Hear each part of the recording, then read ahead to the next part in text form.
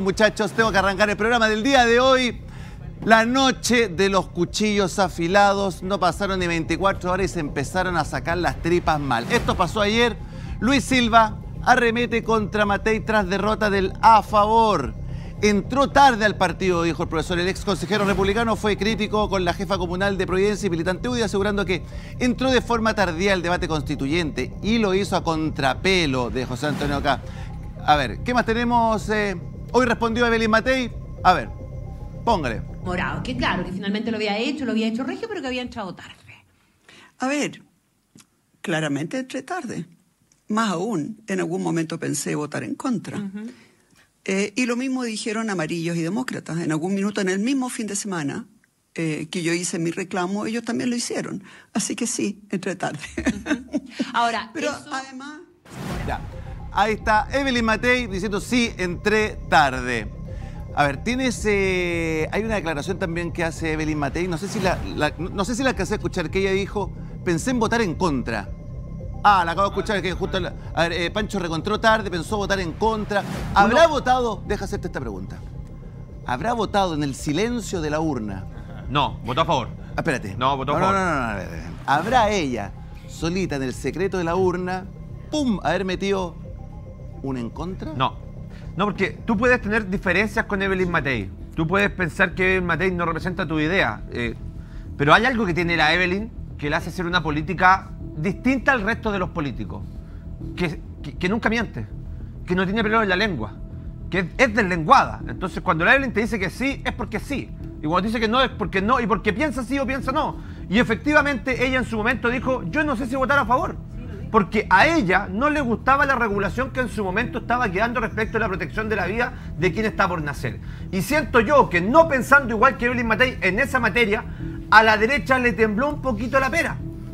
Porque esta constitución tenía una protección del nacituro, del ser humano, de la persona que está en el vientre materno, mejor que la de esta constitución.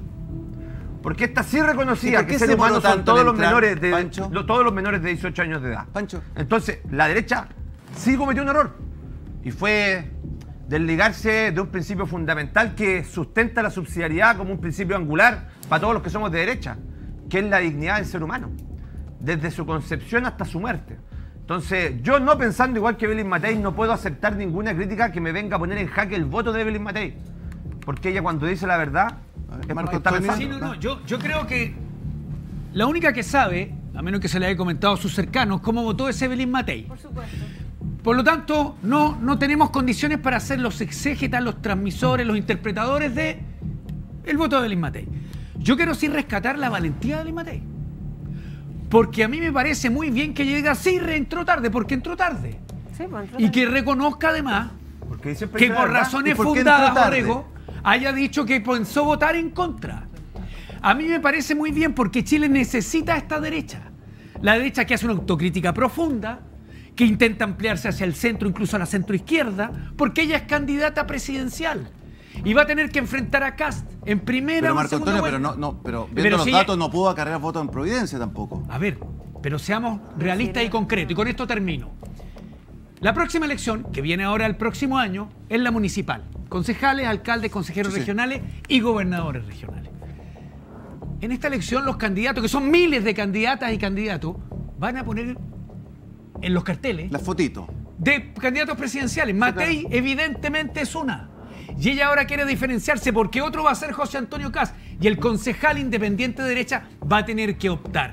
¿A qué pongo en la foto? Y se desata la carrera paloma. presidencial. Y me parece muy bien que renazca con esta fuerza una derecha democrática que hace la autocrítica y que deja espacio incluso para decir, mira, a mí me hubiera gustado, quizá era mejor votar en contra e interpretar a la mayoría de los Franco chilenos. Parisi. Ahí se las dejo. Claramente ahí se muestra la, la calidad política de doña Evelyn. Cuñera, espectacular. Espectacular. Un buen, buen pase gol se lo tiró el profesor Silva. Que es entendible, Silva está, era jugador, era el número 9, saliendo del partido, tenía que mandarse estas cosas. Yo Era- creo que... era el 10. Ca- eh, ¿Perdón? Era el 10. Bueno, como queráis, me, da lo mismo. El, el punto es el siguiente. Estos son partes de eh, el trasnoche del partido. Yo creo que esto va a quedar en la historia, bienvenida sea. Yo creo que la discusión ahora son las que mencionaste tú, Marco, muy bien, que son los problemas de la gente. Yo creo que Providencia tiene grandes problemas y ahí se tiene que abocar eh, Matei y creo que le va a ir muy bien donde quiera, o la reelección o en una Franco Parisi, te, te quiero hacer una pregunta, Franco. Antofagasta también fue un lugar donde ganó el en contra, donde PDG eh, tiene un gran bolsón de votos y tiene, digamos, una, una importancia especial. ¿Qué, qué pasó ahí? No, no, lo que pasa es que la, la gente estaba realmente cansada. Si te digo, este asunto del en contra venía porque sí. Sí, claro, pero había, Venía- un, pero había, había un capítulo especial sobre migración, expulsarlo en Estoy- el menor tiempo acuerdo. posible. Es que la gente, la gente no lo quiere ver.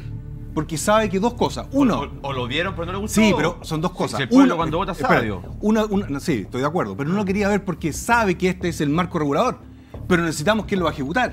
Y sabemos que el presidente Boric no va a ejecutar ninguna reenvío a sus países en forma Entonces inmediata. tú me estás No diciendo que la gente, la gente estaba pensando y diciendo, ese librito no nos va a solucionar en No nada nos las va a cosas del día a día. Yo Mira, creo que eso caló muy fuerte, los- Gonzalo. los E- Ese concepto caló muy fuerte. Sí. Estoy de acuerdo con eso. Mira, la gente tiene tantos problemas. Yo siempre lo he dicho, yo vivo afuera por razones de seguridad. Pero aquí la clase media en Chile trabaja desde las 6 de la No, mañana se hasta las rompen 9 de la noche con un estrés increíble. Te van a robar, van a, van a hacer un, un motín en el colegio, balazos, balazos por todos lados. La gente está saturada. A ver, eh, Gustavo. Sí, solo quiero decir que ese discurso, justamente el discurso de Franco Parisi de miedo, no funcionó. ¿Qué discurso de miedo, El, compadre? el- no he el- nada el discurso, el discurso de que la, la- de que la gente tiene miedo y que por eso no votó miedo, porque sabe que la constitución no, No, le cambia. dijo que están cansados. Que no- que termine, que termine Gustavo, muchachos. La gente votó el domingo en contra de este texto constitucional propuesto por republicanos porque el texto era malo. Es más, en las comunas con más alto índice de, de- de delincuencia, las más afectadas por la migración, la primera, la segunda, la tercera, la cuarta región, todos votaron en contra mayoritariamente. Por lo tanto, no, es, no se tragaron el hecho de que esta fuera una constitución de la seguridad, porque efectivamente, más allá de que el, texto constitucional es un texto habilitante para, para la gestión de los gobiernos, cualquiera sea el signo político de ellos, claramente no, no, no resuelve, y en eso estoy de acuerdo con, eh, con, eh, con Franco, no, res- no resuelve los problemas reales de las personas. Lo que, lo, que se, lo que resuelve es la gestión. Y ahí yo creo que, tener, que la clase política, los que están en el poder, ocupando cargos de poder, sea en el Parlamento o en el gobierno, tienen una gran responsabilidad de hacer bien el trabajo. Pero también, y aquí quiero decirlo también, que me preocupa mucho la actitud de la derecha. Yo no sé si la actitud de la derecha va a seguir siendo obstruccionista de no darle pan y agua, como, como alguna vez lo mencionó Nixon respecto al gobierno de Salvador Allende. o como lo, estaba o como Piñera. lo hizo, o como lo hizo Gonzalo responder. ayer diciendo que van a, a- a- que no quieren aprobar o no van a aprobar, o Marcela Cubillos que no van a aprobar ninguno de los proyectos que, lanz- que, que manda el gobierno. Y a mí me preocupa eso porque hoy día se ha reactivado el proyecto de pensiones, con el Malo. proyecto 1, 2, 3. Ya nos metemos en eso. Y, se, y es necesaria una reforma tributaria o al menos una reforma que aborde la ilusión y la evasión. Porque quiero decirle a, lo- a la- a los señores telespectadores, el fraude de los cincuenta y tantos eh, empresarios es de más de 240 mil Gustavo, millones. Ya, Gustavo, ya, me- ya- Gustavo, ya nos vamos a meter en, en la reforma, en los no pactos, en los acuerdos que se tienen que hacer al interior del Congreso. A ver, eh, ¿cómo se empodera el gobierno? ¿Qué tiene...? Ah, que me, me, desconcentraste, Euge, ¿qué quería...?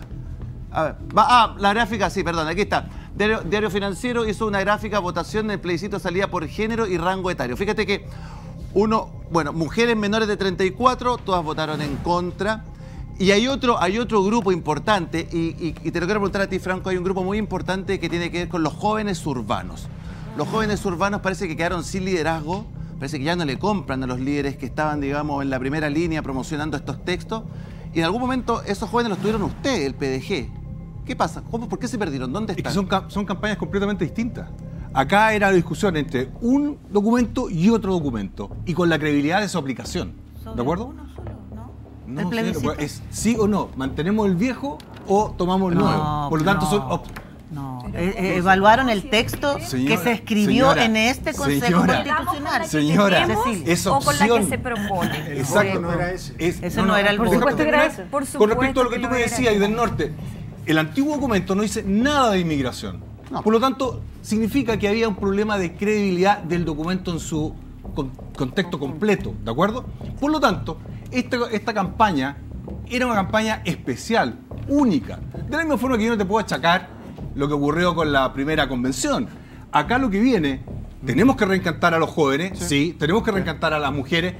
Todos los políticos tenemos que ponerle empeño reencantando a toda la sociedad chilena porque ha sido un desgaste supremo. Yo sé que es bueno votar, pero pucha que estamos un poquito cansados por términos del esfuerzo. Cerraron el 17 de diciembre, ¿tú sabes lo que significa eso en las ventas del comercio? Sí, que po. está cayendo la mayor número de empresas quebradas, comercio, y cerraron el minorista. 17. Entonces hay un montón de hitos que la gente está hasta pero, aquí. pero Marco, solo, o sea, eh, Franco. Franco, perdón. Solo una observación respecto de las quiebras y el, el- el comercio y las empresas. Es un fenómeno mundial. Estados Unidos tiene un nivel alto Sí, de, antes de nosotros estábamos quiebra. desacoplados. En el, en el, en la Unión Europea pasa exactamente 2008, lo mismo. 2009, 2011 y Chile Y está perdona, completamente y solo quiero, solo quiero terminar. Eh, eh, acaba de salir en el diario financiero análisis ah, de los analistas, ana- economistas norteamericanos eh, de- que señalan justamente lo contrario. Dicen que efectivamente el rechazo lo que le da es mayor estabilidad al sistema, No, lo leíste- incluso para la inversión. Lo leíste mal. Mayor, Lo leíste mal. Búscame, búscame, búscame, búscame Dicen que es solamente una baja incertidumbre de corto plazo de dos y medio, como lo dijo el presidente, Oye, pero las inversiones son de largo plazo. Para- perdona, pero para terminar este punto, o sea, no, no le demos vuelta tanto a las cosas porque la gente no se compra eso. No ganó el en contra porque la gente estaba cansada. La gente evaluó este texto constitucional y dijo que no le gustaba. Entonces, dejemos de tratar si a las personas, dejemos de tratar a las personas como que no saben y no tienen idea y por eso ganó el en contra. No, la gente sabe lo que votó. La gente La gente está admitió cansada, eso. De hecho, Casa. Sí, eso, eso sí, pero eso no Cansada. fue. Pero no por eso ganó el en contra. No, no, eso es muy mezquino evaluarlo de esa Melvin, forma. hay un Y segundo, no menor. lo que se evaluó fue el texto que se trabajó en este Consejo Constitucional fundamentalmente Versus- por los republicanos. Versus, Y versus el vigente. Versus nada, si no estaba No, puesto en el voto, no engañen a la Mervi, a ver, gente. Mervi, Mervi, Eso es manipular la No, no, información no. La política. el proceso eso- eso- eso es asusta. Cecilia, Cecilia, esas declaraciones No, no, no, asustan no, porque el proceso anterior se establecía en el artículo 142 que si no ganaba este texto, nos quedábamos con el anterior. Ciertamente se decidió tomar la decisión política de ir a un nuevo proceso en el cual también se estableció Porque que de no no ganar quedar nos quedábamos con el anterior.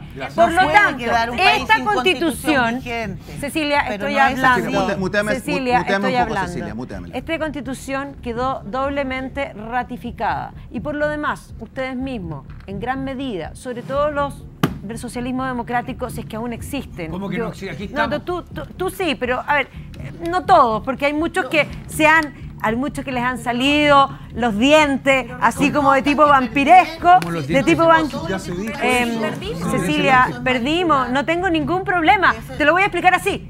Me gustan las dos. A ti no te gusta ninguna. No, no, no, no, no es así.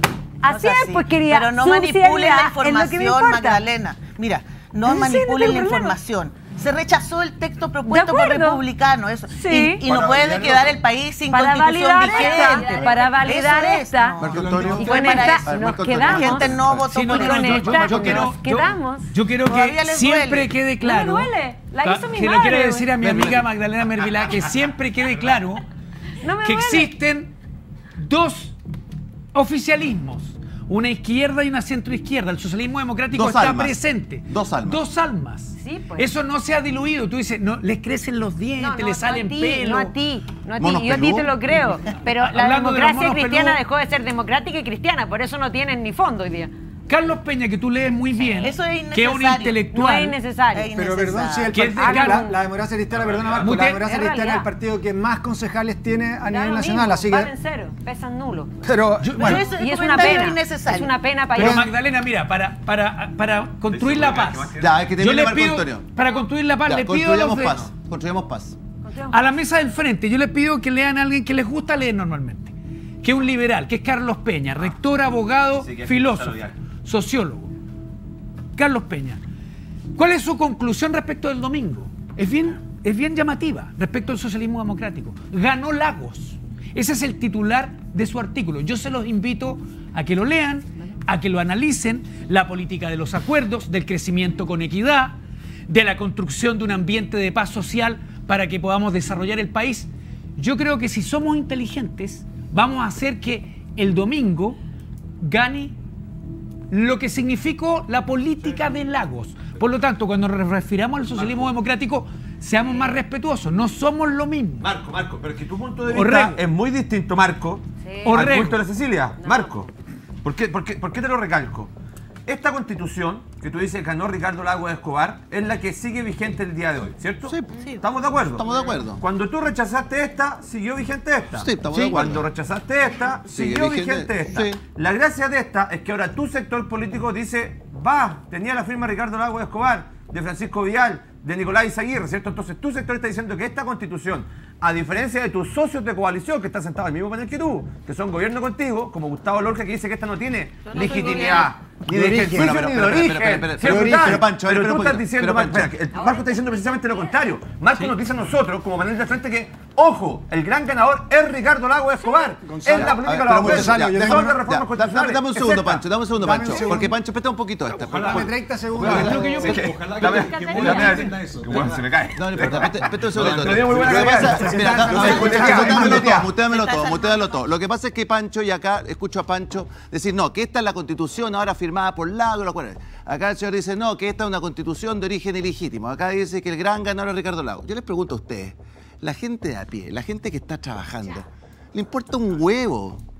¿Le importa un huevo quién la firmó? Les da, pero, pero espérate, Pancho, es que les da lo mismo. Estoy de acuerdo. ¿Y sabes por qué estoy de acuerdo, Gonzalo? Le, Porque le esa importa discusión- nada. Gonzalo. La gente dice, a ver, estos 30 años hay edificios, me compré un auto, Sí. he tenido acceso, listo, mejorme esta, Porque- chao, se acabó. Esa discusión, Gonzalo, efectivamente, esa que tienes tú en la mano, esta, discus- esta discusión Pero- siempre ha sido una discusión de élite. Pero lógico, Siempre. pero sé que le interesa si- quién está firmada. Estoy totalmente y por eso y por eso tengo que discrepar con Cecilia porque yo creo, que este panel en ningún momento ha planteado que el pueblo es tonto. Y a mí me carga cuando la gente dice el pueblo se equivocó. Nosotros debatimos y nos sacamos los ojos sin filtro. E interpretamos artículo por artículo. eh, Y dijimos, Pancho. mentiroso, mentiroso, esto es verdad, esto. Lo hicimos todo.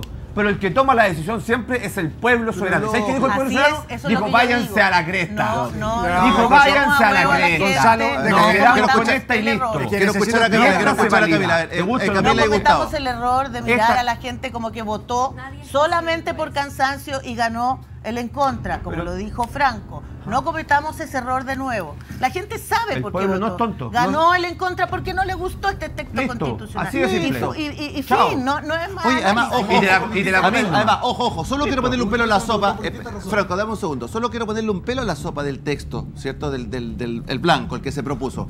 Fíjate que los que escribieron ese texto no querían escribir ese texto.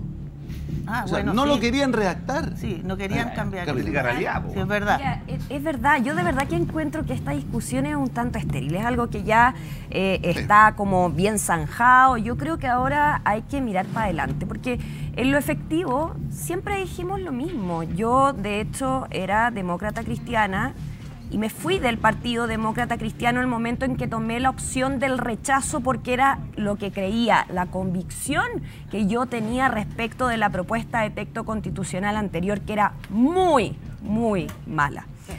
Y hoy día, claro, llegamos a esta oportunidad, yo creía que era una buena. Ahora, no traten de instalar, de verdad lo digo, y- y creo que es una estrategia bien rasca el decir que estamos eh, diciendo que la gente es tonta, que la gente no piensa. Esa es la típica estrategia para desvalidar el argumento del otro cuando le están reconociendo que las cosas son como son. Nosotros estábamos por el a favor, perdimos, ya está. Ahora nos quedamos con la constitución Listo. del lago, Fin, que tiene acabó. mil Fin, denominaciones, porque para ellos pasó de ser la constitución de Pinochet a ser la constitución Sí, del sí, lago, sí. una constitución súper progresista, una constitución feminista, incluso la que tenemos hoy día vigente. Entonces a mí me llama la atención que finalmente ellos estén defendiendo lo indefendible.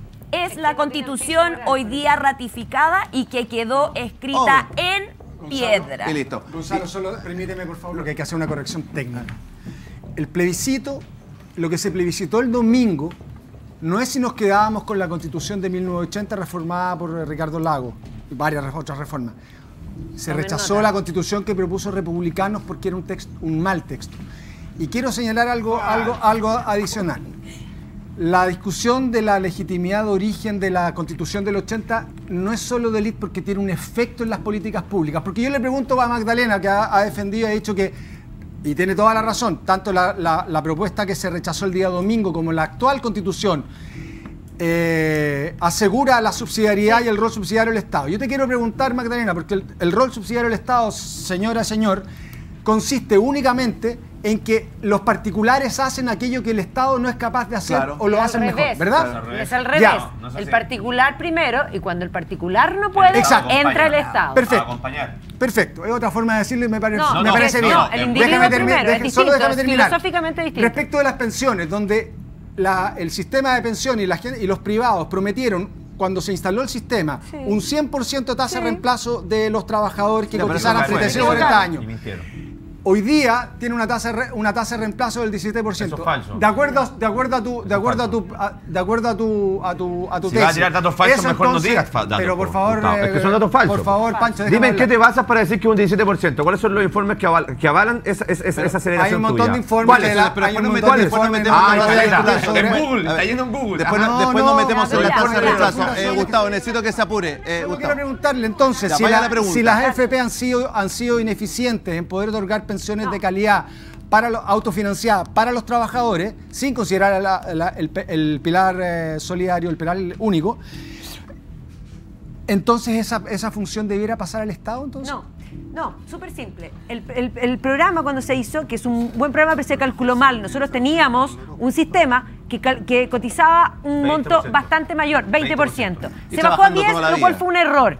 Pero además hay que sumarle que las AFP solo tienen que manejar la rentabilidad, no son un sistema de pensiones. Las pensiones dependen de cuánto tú pongas en, en, digamos, en eh, todos los meses. O sea, si tú tienes laguna, evidentemente Obvio. tu pensión va a ser mala. Espera, déjame terminar mi respuesta.